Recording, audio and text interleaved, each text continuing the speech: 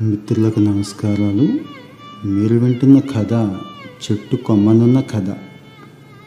సత్యం శంకరం మంచి రచించిన అమరావతి కథల నుంచి. కొన్ని కథలు నేల మీద నడుస్తాయి. కొన్ని కథలు గాలిలో ఆడుతాయి.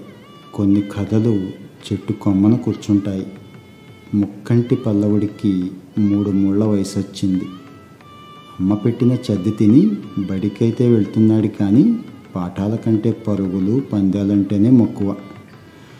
పొద్దున్న సాయంత్రం అక్షరాల సంగతి అయ్యవార్లకు వదిలేసి ఆకతాయిల్ని చేరదీసి జట్టు కట్టి కుస్తీ పట్లు పట్టడమే మొక్కంటి పని. ఓ రోజు పోటీలో తగదా వచ్చింది. మాట మాట పెరిగాయి. నువ్వెంత అంటే నువ్వెంత అనుకున్నారు. పిల్లల్లో ఒకడెవడో చెంగున లేచి పోరా నీ అబ్బకి చెప్పుకోరా అన్నాడు మొక్కంటిని. వాడికి అబ్బలేడురా అన్నాడు ఇంకొకడు. ఆ మాటతో ముక్కంటి నీరుగారిపోయాడు. ఎక్కడ లేని కోపం వచ్చింది.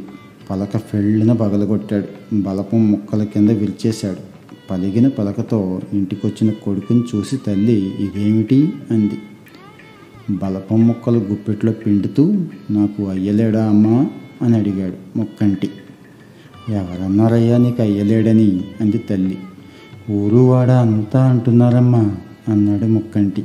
వాళ్ళకే సమాధానం చెప్తాను రావయ్యా అంటూ ముక్కంటిని చేయి పుచ్చుకొని నడివీధిలోకి తీసుకొచ్చింది. పెద్ద అరుగు మీద కొడుకుని కూర్చోబెట్టి పిల్లల్ని పెద్దల్ని అందరినీ కేకపెట్టి పిలిచింది. అలా పోగైన జనసమూహానికి ముక్కంటి జన్మ చెప్పింది. అన్నలారా అమ్మలారా నా బిడ్డ ముక్కంటికి అయ్యలేడన్నారట. నేను ఇప్పుడు చెప్తున్నాను నా బిడ్డకు తండ్రి ఆ అమరేశ్వరుడు. జనం ముఖాలు ముఖాలు చూసుకున్నారు. చెప్పుకుపోతోంది ముక్కంటి తల్లి. నేను విధవను.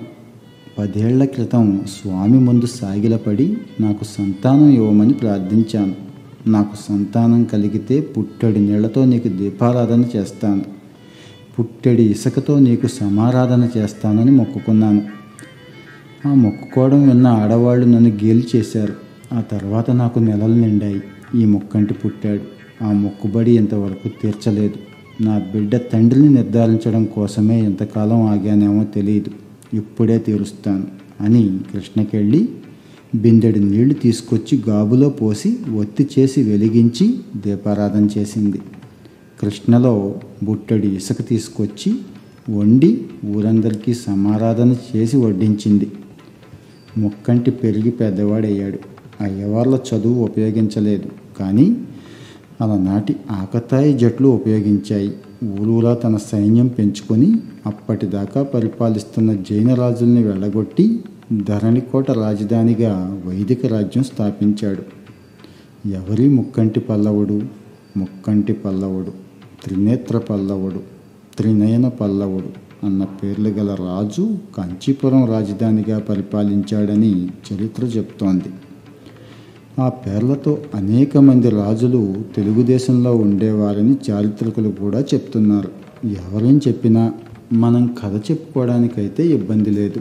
ముక్కంటి పల్లవుడు వైభవంగా వివాహం చేసుకొని రాజ్యపాలన సాగిస్తుండగా ఒకరోజు ఒక సిద్ధుడు ముక్కంటికి ఒక రహస్య మంత్రం ఉపదేశించి ఒక పాదలేపనం అనుగ్రహించాడు. ఆ పాదలేపనం సాయంతో ముక్కంటి పల్లవుడు రోజు క్షణమాత్రంలో కాశీకి చేరుకొని గంగలో స్నానం చేసి తిరిగి క్షణంలో రాజధానికి వస్తున్నాడు.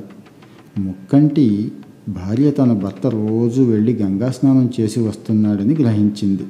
ఒకనాడు ఆ పాదలేపనం తనకు కూడా అనుగ్రహించమని వేడుకుంది. ముక్కంటి సమ్మతించలేదు. ముక్కంటి భార్యకు తను రోజు గంగా స్నానం చేయాలనే కోరిక అధికమైంది. జైన సిద్ధుల్ని ఆశ్రయించి వాళ్ళ ద్వారా ఆ పాదలేపనాన్ని సంపాదించగలిగింది.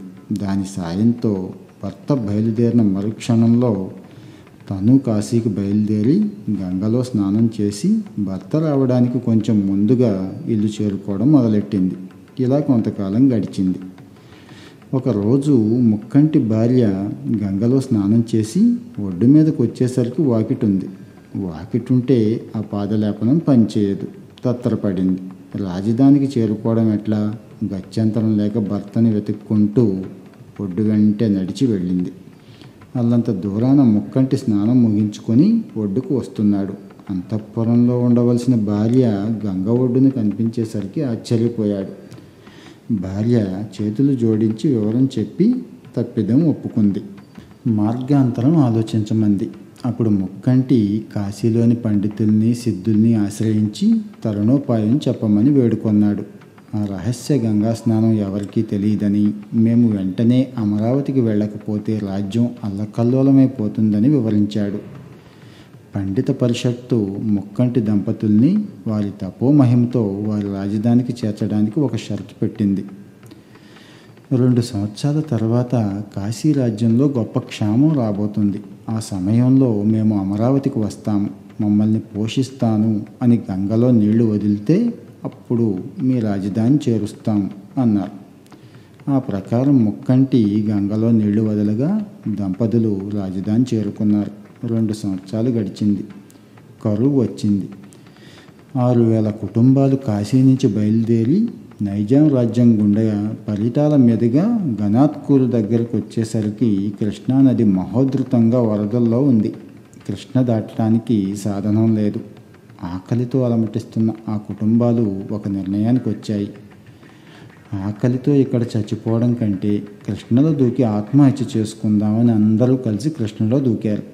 కృష్ణ రెండు పాయలుగా విడిపోయి వాళ్ళకు దోవ ఇచ్చింది నడుచుకుంటూ అమరావతి వచ్చి ముక్కంటిని కలిసి ఆనాటి వాగ్దానం నిలుపుకోవాల్సిందిగా కోరారు.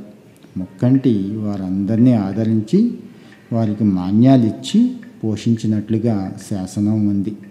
ఎక్కడ ఉంది శాసనం? ఏ ఇంటి పునాదిలోనో ఏ భూగర్భంలోనో. ఇది పుక్కిట పురాణం కావచ్చు కట్టు కథ కావచ్చు. ఆ శాసనం దొరికి పలికితే తప్ప చెట్టు కొమ్మనున్న కథ మన చేతికి అందదు.